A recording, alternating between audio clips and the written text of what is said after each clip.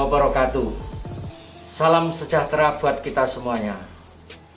Puji syukur kehadirat Allah Subhanahu wa taala yang mana pada hari ini kita masih diberikan kekuatan, kesehatan, kenikmatan berupa nikmat sehat lahir dan batin. Sehingga kita bisa mengikuti kegiatan masa pengenalan lingkungan sekolah SMKN 1 Trenggalek. Ini merupakan suatu kehormatan bagi saya untuk menyampaikan materi kesadaran berbela negara. Sebelum saya menyampaikan materi ini, perkenankanlah saya menyampaikan biodata singkat saya. Nama saya Mas Rudin, pangkat pembantu letnan 2 jabatan keseharian saya saya menjabat sebagai Bati Tuut Kuramil 01 Trenggalek. Terus kemudian eh, pendid riwayat pendidikan saya untuk pendidikan umum saya SD lulus tahun 1988. SMP lulus tahun 1991 dan SMA tahun 1994. Kemudian pendidikan militer, saya pendidikan militer dasar tahun 1995. Kemudian setelah lulus tahun 1995, saya melanjutkan pendidikan kecabangan infanteri atau dikenal dengan pasukan jalan kaki selama enam bulan berada di Rindam 5 Brawijaya atau di Malang. Terus kemudian masa penugasan saya saya tahun 1997 saya berangkat melaksanakan tugas tempur di Timur Timur. Pada waktu itu Timur Timur masih wilayah NKRI. Kemudian tahun 1999 saya berangkat lagi ke Timur Timur. Kemudian tahun 2000 saya berangkat ke Aceh. Kemudian yang terakhir tahun 2003 sampai 20, 2005 saya berangkat lagi ke Aceh. Di sana pada waktu saya mau pulang terjadilah tsunami yang hebat yang mengakibatkan atau menelan ratusan ribu korban nyawa. Jadi itu biodata singkat saya Nanti apabila adik-adik ingin mengenal saya lebih jauh, silahkan datang ke Kuramil atau datang ke rumah. Demikian riwayat singkat saya. Sekarang kita lanjutkan untuk materi kesadaran berbela dan bernegara.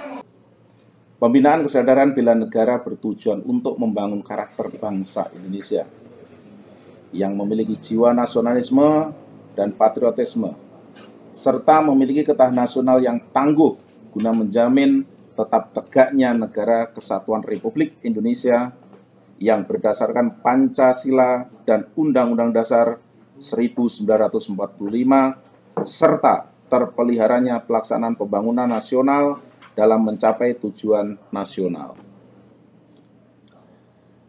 Presiden pertama yaitu Insinyur Soekarno pada saat hari ulang tahun Republik Indonesia tanggal 17 Agustus 1966, beliau menyampaikan dalam pidatonya yaitu semboyan jas merah. Jangan sekali-kali melupakan sejarah.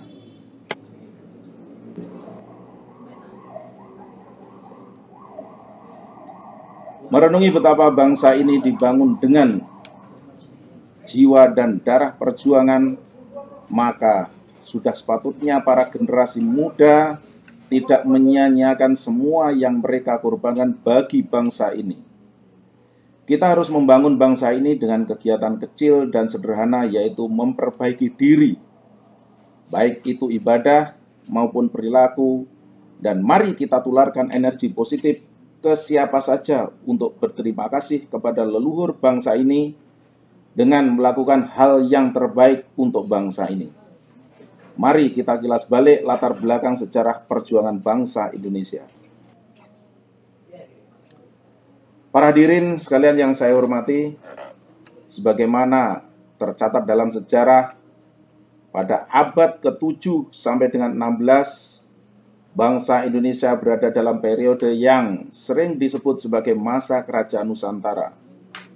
Pada masa itu, terdapat dua kerajaan besar yaitu Sriwijaya sekitar abad 7 sampai dengan 12 dan Majapahit sekitar abad 13 sampai dengan 16 yang ternyata telah mampu membawa bangsa Indonesia mencapai puncak kemegahannya sebagai bangsa yang merdeka, bersatu, berdaulat, adil dan makmur, serta berperan penting di kawasan Asia Tenggara.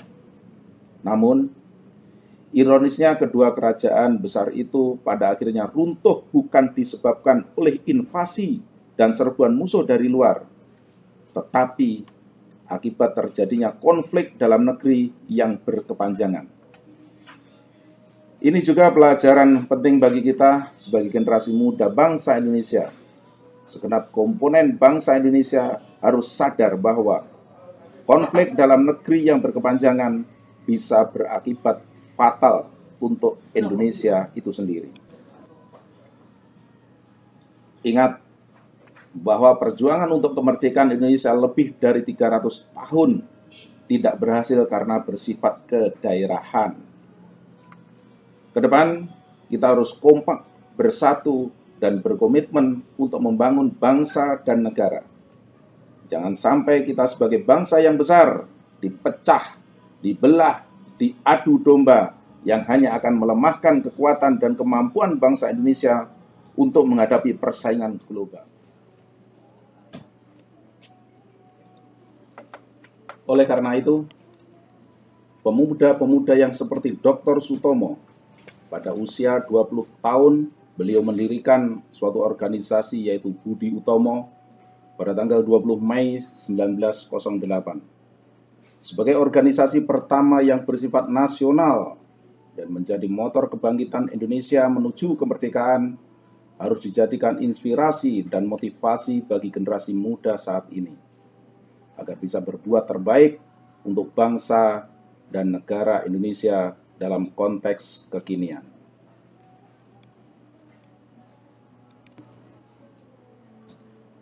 Itulah sebabnya Peristiwa tersebut dikenal sebagai Hari Kebangkitan Nasional, yaitu tanggal 20 Mei 1908. Agar gerakan Budi Utomo selalu dikenang dan menjadi inspirasi bagi kita semua untuk bangkit demi bangsa dan negara. Kelahiran Budi Utomo telah menjadi tonggak yang menumbuhkan semangat perjuangan sekaligus menjadi inspirasi berdirinya berbagai organisasi di seluruh pelosok tanah air, baik yang bersifat kedaerahan, politik, agama, serikat pekerja, kewanitaan, maupun kepemudaan. Pada kurun waktu selanjutnya, muncullah sejumlah organisasi seperti Syarikat Islam, Indonesia Parties, dan berbagai organisasi yang lainnya. Hal ini mewarnai awal kebangkitan nasional yang mewujudkan kesepakatan, kebersamaan, persatuan, dan senasib seperjuangan. Dan sekitar 20 tahun setelah Budi Utomo berjuang, pergerakan pemuda muncullah suatu orga energi, yaitu kesadaran dan tekad bersatu. Yang mencapai puncaknya pada tahun 1928. Lahirlah Sumpah Pemuda pada tanggal 28 Oktober 1928. Yang di dalamnya mempunyai inti adalah bertanah air yang satu, tanah air Indonesia, berbangsa yang satu, bangsa Indonesia, dan berbahasa yang satu, bahasa Indonesia. Ini semua merupakan pengakuan kebinekaan Tunggal Ika sebagai upaya untuk mencapai kemerdekaan. Sumpah ini harus terus dipegang teguh agar sebagai bangsa yang majemuk, Indonesia akan selalu kuat dan kokoh, bersatu sesuai semangat pemuda 1928. Hanya perlu 17 tahun setelah Sumpah Pemuda pada tanggal 17 Agustus 1945 Dengan kemampuan sendiri, bangsa Indonesia dapat merebut kemerdekaan dan mengusir penjajahan dari bumi pertiwi.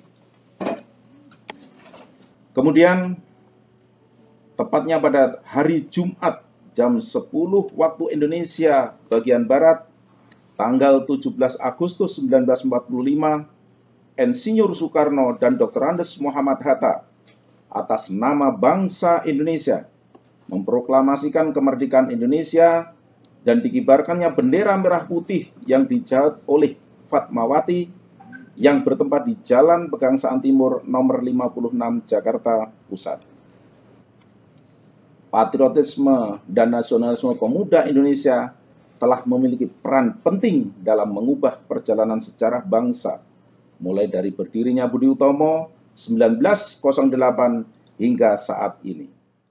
Para hadirin sekalian yang saya hormati, kita mengetahui bahwa negara Indonesia merupakan negara kepulauan terbesar di dunia yang memiliki posisi strategis, yaitu di antara dua benua, dua samudera, kemudian memiliki dua iklim, seribu lebih suku bangsa, 746 bahasa daerah, 266 juta lebih penduduknya, 1.900.000 lebih juta kilometer luas daratannya, 5,8 juta kilometer persegi luas udara dan lautan.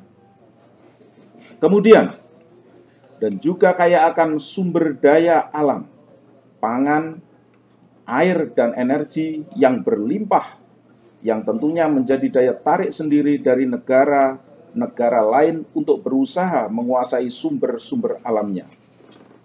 Itu artinya terdapat ancaman terhadap sumber-sumber pangan, air, dan energi terhadap negara kesatuan Republik Indonesia. Jadi, dalam rangka mewujudkan tujuan nasional masih terdapat ancaman atau hambatan bagi dari dalam maupun luar negeri. Proses terbentuknya Negara Kesatuan Republik Indonesia berjalan cukup panjang, dimulai Kerajaan Kutai, Kerajaan Majapahit, terbentuknya organisasi Budi Utomo 1908, Sumpah Pemuda hingga kemerdekaan RI tahun 1945. Membangun dan mempertahankan semangat nasionalisme dalam kerangka kesadaran bela negara bagi setiap warga negara tidaklah mudah seperti membalikkan telapak tangan. Terlebih lagi dengan keragaman budaya, agama, adat istiadat, ras, dan lain sebagainya. Peran warga dalam mempertahankan negara, landasan yuridis atau landasan hukumnya yaitu Undang-Undang Dasar 1945 Pasal 27 ayat 3 yang berbunyi setiap warga negara berhak dan wajib ikut serta dalam upaya pembelaan negara. Pasal 30 ayat 1 Tiap-tiap warga negara berhak dan wajib ikut serta dalam usaha pertahanan dan keamanan negara. Ayat 2 Usaha pertahanan dan keamanan negara dilaksanakan melalui sistem pertahanan dan keamanan rakyat semesta oleh Tentara Nasional Indonesia dan Kepolisian Republik Indonesia sebagai kekuatan utama dan rakyat sebagai kekuatan pendukung. Undang-Undang Nomor 3 Tahun 2002 tentang Pertahanan Negara, Pasal 9 Ayat 1, setiap warga negara berhak dan wajib ikut serta dalam upaya bela negara diwujudkan dalam penyelenggaraan pertahanan negara. Ayat 2, keikutsertaan warga negara dalam upaya bela negara sebagaimana dimaksud dalam ayat 1 diselenggarakan melalui A. Pendidikan kewarganegaraan B. Wajib militer C. Pengabdian sebagai prajurit TNI secara sukarela atau secara wajib D. Pengabdian sesuai profesi Undang-Undang Nomor 3 Tahun 2002 tentang Pertahanan Negara Pasal 1.2 Sistem pertahanan negara adalah sistem pertahanan bersifat semesta. Saya ulangi, bersifat semesta yang melibatkan seluruh warga negara, kemudian wilayah, dan sumber daya nasional lainnya. Disiapkan secara dini oleh pemerintah dan diselenggarakan secara total, terpadu, terarah, dan berlanjut untuk menegakkan kedaulatan negara, keutuhan wilayah, dan keselamatan segenap bangsa dari segala ancaman. Pasal 7 ayat 2 Sistem pertahanan negara dalam menghadapi ancaman militer menempatkan TNI sebagai komponen utama dengan didukung oleh komponen cadangan dan komponen pendukung. Meninjau peristiwa sehari-hari, kondisi saat ini, bangsa kita menghadapi kondisi yang mengkhawatirkan seperti bahaya laten komunis, korupsi, narkoba, pelanggaran hukum, patriotisme. Patriotisme sektoral sempit, masih adanya rusuh atau tawuran antar pelajar, mahasiswa, warga, kemudian persaingan ekonomi global, dan radikalisme. Apakah dapat kita rasakan bahwa saat ini Ibu Pertiwi memang sedang menangis? Apakah ini disebabkan oleh anak-anak bangsa yang semakin kehilangan karakter, sehingga negeri ini menjadi semakin kehilangan jati diri bangsa, sehingga semua itu dapat mengancam kelangsungan hidup bangsa Indonesia. Fenomena ancaman saat ini yang pertama adalah ideologi. Kita lihat lemahnya pemahaman dan implementasi dari nilai-nilai Pancasila. Yang kedua, nasionalisme terkikis karena dampak serbuan budaya barat. Karena terbukanya jendela dunia melalui media internet. Selanjutnya, kepercayaan terhadap institusi negara berkurang karena dampak arus modernisasi yang diusung oleh negara maju dan tidak diimbangi dengan kemandirian ekonomi. Yang keempat, muncul berbagai tindak kriminal dan degradasi moral melalui kejahatan transnasional. Pada bidang ekonomi, pertumbuhan ekonomi di kawasan yang cenderung menurun khususnya Cina akan berdampak pada kondisi perekonomian Indonesia. Ketergantungan impor terhadap bahan pangan, kemudian sumber daya alam yang kita miliki masih dikuasai asing, Terakhir, pertumbuhan penduduk yang sulit dikendalikan dan ketersediaan lapangan kerja yang kurang. Pada bilang politik, sulitnya menjaga konsolidasi demokrasi, berbagai elemen bangsa yang sering kali kontraproduktif dengan prinsip-prinsip demokrasi Pancasila. Menguatnya identitas lokal dan menurunnya identitas nasional. Proses berdemokrasi dalam memilih pemimpin yang belum mapan day to day politics, bukan hanya saat pemilu atau pemilu kada yang cenderung berorientasi pada kepentingan kelompok. Pada bidang sosial budaya, maraknya tindak kejahatan atau kriminalitas, ketidakpedulian terhadap lingkungan yang menimbulkan pencemaran dan bahaya bencana, sulitnya mencari lapangan kerja sehingga kemiskinan tidak dapat dicegah menurunnya rasa cinta terhadap budaya nasional, tindak kekerasan dalam penyelesaian masalah, pergaulan bebas, free sex, dan pengedaran atau penggunaan narkoba. Yang terakhir, merosotnya nilai-nilai etika sosial. Pada bidang pertahanan dan keamanan, wilayah negara Indonesia dan masalah sengketa perbatasan.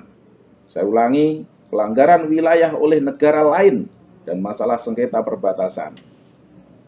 Persoalan terorisme dan radikalisme serta ancaman disintegrasi bangsa. Kemandirian, kemandirian industri pertahanan yang masih belum terwujud. Transformasi struktur dan kultur TNI yang belum dituntaskan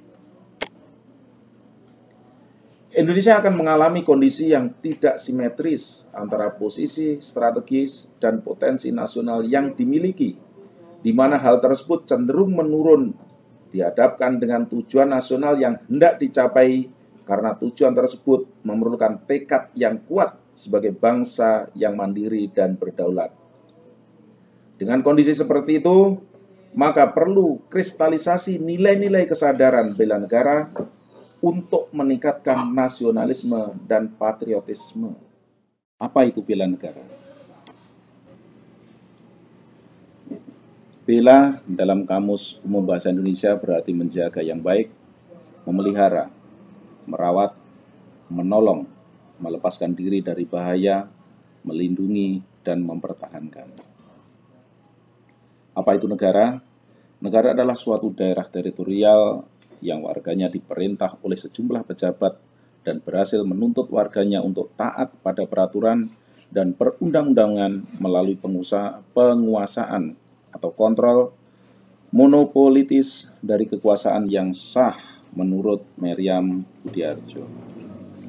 Bela negara dalam Undang-Undang Nomor 3 Tahun 2002 tentang Pertahanan Negara Pasal 9 yang berbunyi sikap dan perilaku warga negara yang dijiwai oleh kecintaannya kepada NKRI yang berdasarkan Pancasila dan Undang-Undang Dasar 1945 dalam menjamin kelangsungan hidup bangsa dan negara. Mengapa negara harus dibela? Jawabannya adalah negara layaknya seperti makhluk hidup. Mula-mula ia tidak ada, berkembang, dan kemudian mati. Agar tetap hidup, kita harus membelanya, melindungi dari segala macam bentuk tantangan, hambatan, gangguan, dan ancaman. Siapa yang harus membela negara? Yaitu seluruh warga negara Indonesia. Lima unsur dasar bela negara A Yaitu. adalah cinta tanah air. Apa itu artinya tanah air? Tanah air adalah ruang wilayah negara yang telah memberikan sumber kehidupan dan penghidupan sejak manusia lahir sampai pada akhir hayatnya. Mengenal dan memahami implementasinya adalah wilayah Nusantara dengan baik, memelihara, melestarikan, dan mencintai lingkungan yang terakhir adalah jaga nama baik atau harumkan bangsa Indonesia. B. Sadar berbangsa dan bernegara. Implementasinya yaitu ikut serta dalam mencapai cita-cita dan tujuan hidup bangsa. Kesadaran akan kesatuan dan persatuan. Mencintai budaya bangsa, mengutamakan kepentingan bangsa di atas kepentingan pribadi atau golongan. C. Yakin akan Pancasila sebagai ideologi negara. Implementasinya yaitu tanpa Pancasila negara dengan sendirinya terancam. Amalkan nilai-nilai Pancasila. Apabila ada pertentangan, musyawarah, gunakan Pancasila. Gunakan Pancasila untuk mengatasi gangguan baik dari dalam maupun dari luar negeri. D. Rela berkorban untuk bangsa dan negara. Kita korbankan waktu, tenaga, pikiran, dan harta benda. Jiwa dan raga bagi ke kepentingan bangsa, kemudian berbakti tanpa pamrih untuk kelangsungan hidup bangsa dan negara. E. Memiliki kemampuan awal untuk bela negara yang pertama adalah mental kita. Disiplin, ulet, kerja keras, percaya akan kemampuan sendiri, jujur, dan bertanggung jawab. Fisik, kesehatan dan keterampilan yang dapat mendukung kemampuan awal bela negara yang bersifat psikis. Bela negara berkaitan erat dengan usaha pertahanan dan keamanan bersifat semesta yaitu melibatkan seluruh warga negara, wilayah, dan sumber daya nasional lainnya, serta dipersiapkan secara dini oleh pemerintah dan disenggalakan secara total, terpadu, terarah, dan berlanjut untuk negara, ke, menegakkan kedaulatan negara, keutuhan wilayah, dan keselamatan segenap bangsa dari segala ancaman yaitu berada di dalam Undang-Undang Nomor 3 Tahun 2002. Komponen sistem pertahanan semesta yaitu dari tiga unsur. Yang pertama adalah komponen utama, terdiri dari TNI, Angkatan Darat, Angkatan Laut, dan Angkatan Udara. Komponen cadangan yaitu warga negara terlatih, sumber daya alam, sarana prasarana nasional yang disiapkan dan siap dimobilisasi. Kemudian komponen pendukung yaitu warga negara, sumber daya alam, sumber daya buatan, sarana dan prasarana yang didukung kemampuan komponen cadangan maupun komponen utama. Itu merupakan kekuatan yang sangat amat dahsyat sekali yaitu kemampuan sistem pertahanan semesta. Apa yang harus dilakukan? Bela negara membentuk karakter cinta tanah air, bukan latihan militer. Membangun karakter pemuda demi bangsa Indonesia yang maju dan bermartabat, yaitu dengan cara kita bangga menjadi orang Indonesia. Pentingnya memiliki jati diri yang dibentuk oleh empat komponen yaitu Pancasila, Undang-Undang Dasar 1945, Negara Kesatuan Republik Indonesia, dan Bhinneka Tunggal Ika. Jangan selalu membuat sekat di lingkungan kita, yaitu tidak boleh berurusan dengan, ulangi, tidak boleh mengurusi orang lain, kursi diri sendiri. Itu yang benar seperti itu.